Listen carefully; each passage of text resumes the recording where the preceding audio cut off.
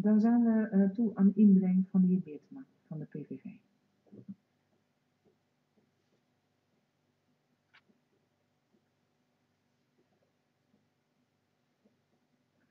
Dank u wel, voorzitter. Voorzitter, we hebben het probleem van de onderuitputting van de huisvestingsgelden een aantal keer met elkaar gewisseld. Eh, en alle partijen zijn het erover eens dat het buitengewoon onwenselijk is dat gemeenten onderwijsgelden eh, honderden miljoenen euro's per jaar niet besteden aan, het brood, aan de broodnodige nieuwbouw van basisscholen of aan de renovatie van basisscholen. Dat is natuurlijk toch de achtergrond van het verhaal. Dat onderwijsgeld wordt aangewend nu om gaten in de gemeentebegroting te dekken, om reserves aan te leggen en in voorkomende gevallen worden er zelfs lantaarnpalen neergezet. Nou, dat is een gegeven situatie. Gevolg, hè, kinderen die hun hele school, basisschoolcarrière in noodgebouwtjes doorbrengen, in slecht geventileerde lokalen, in omstandigheden waar een ontwikkeld land als de onze zich voor zou moeten schamen, voorzitter. Nou, ik vertel u geen nieuws als ik zeg dat de gemiddelde ouderdom van de schoolgebouwen nog steeds zo'n 40 jaar is. Achterblijvende veiligheid, problemen met verwarming, ventilatie. Gebouwen die wel vaak heel groot zijn in vierkante meters, maar ja, op geen enkele andere manier functioneel, omdat er alleen maar traditioneel onderwijs in kan plaatsvinden. Eh, een van de grootste problemen is dat binnenklimaat, hè, dat die CO2-concentratie, die, ongezonde concentratie fijnstof. En wat mij altijd uh, geraakt heeft, voorzitter, is dat de luchtkwaliteit in schoolgebouwen aanzienlijk slechter is dan in kantoren en gevangenissen notabene. Nou, in de memorie van toelichting op pagina 9, daar stelt de staatssecretaris dat het allemaal wel meevalt met de technische staat van schoolgebouwen. Maar al die dingen die ik noem, die zijn ja, ook nog zo heel oud, die cijfers. Dus ik kan me niet voorstellen dat die nou zo, zo spectaculair zijn gedaald, die, die cijfers. Daarom, voorzitter, steunt de PVV deze wetswijziging van harte. Eh, want met deze wetswijziging wordt een deel, een klein deel van het probleem opgelost. Namelijk dat deel dat bedoeld is voor het buitenonderhoud en aanpassing aan het gebouw.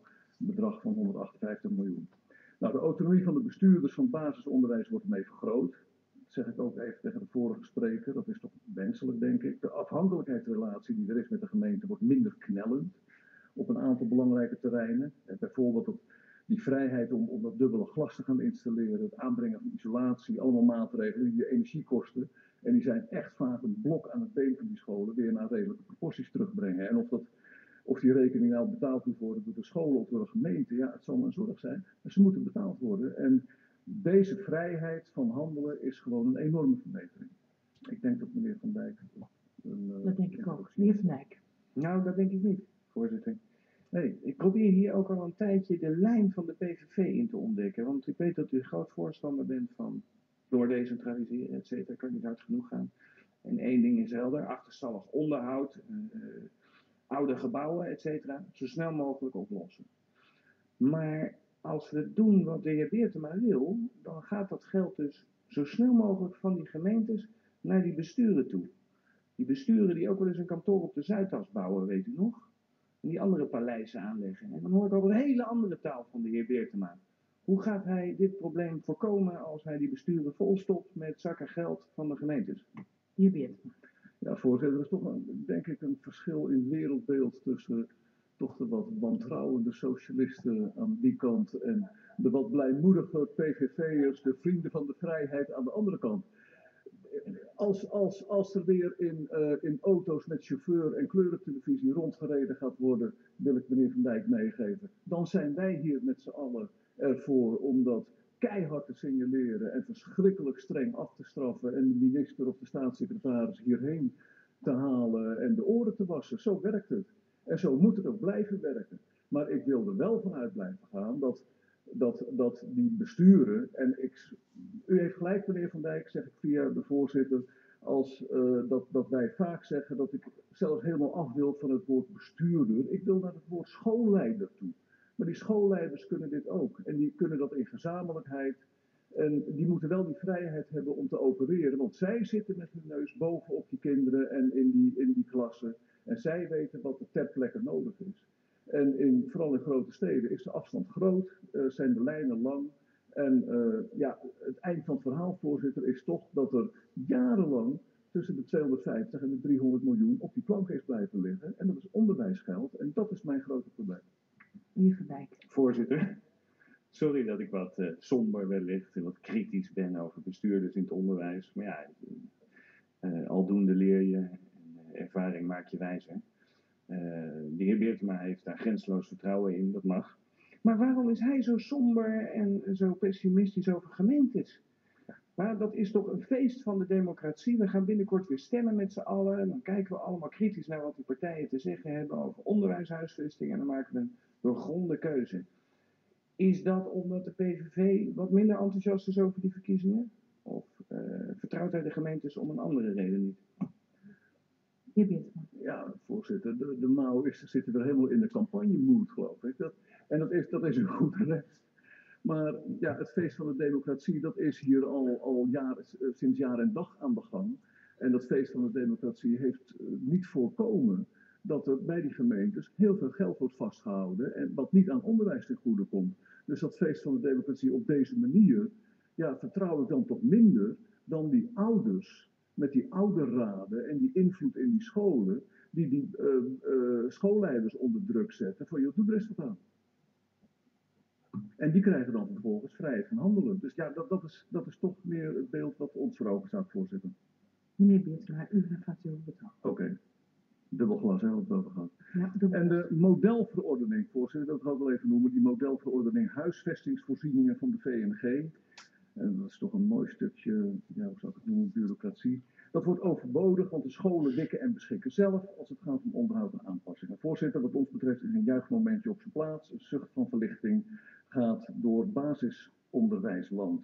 Nou, wij zijn dan ook verheugd met die wetswijziging. Uh, hij is ook in, in, in lijn met die uh, aangenomen motie Beertma van in de tijd, waarin het kabinet wordt verzocht naar, uh, om die doorzee, doorzee decentralisatie te regelen.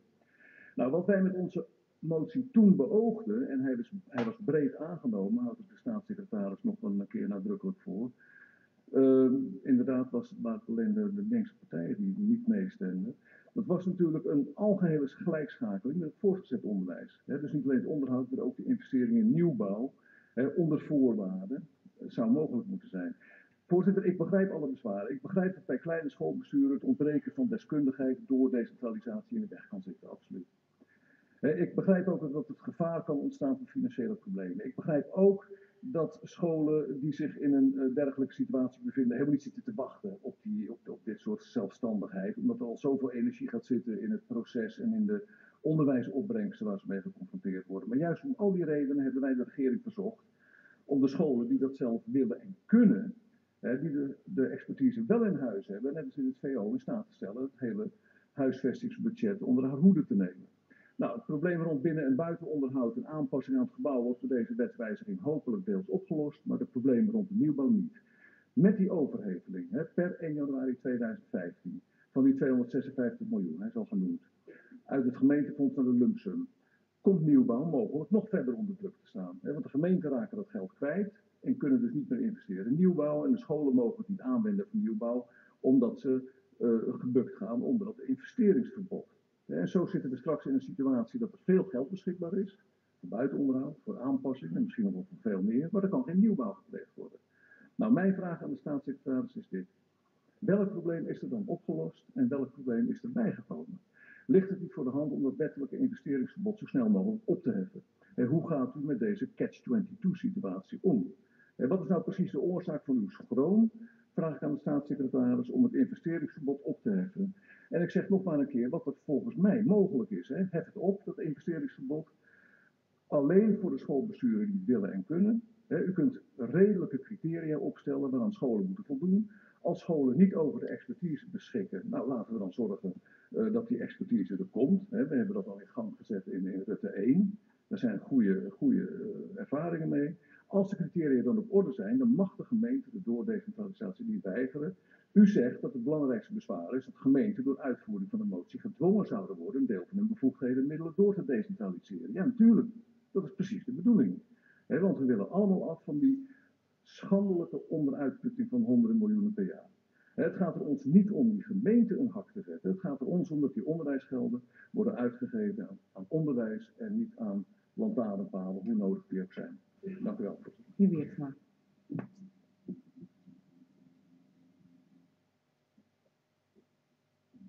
Voorzitter, dank u wel.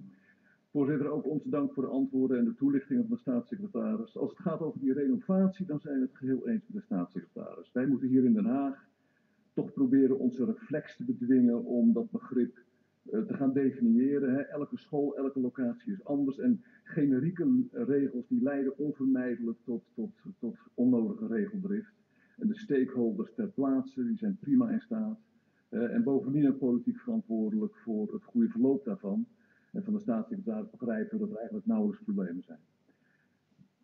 Dan, voorzitter, we hadden uiteraard gehoopt dat er meer enthousiasme zou zijn bij de staatssecretaris om deze doordecentralisatie te zien als een eerste stap naar die gehele doordecentralisatie van huisvesting.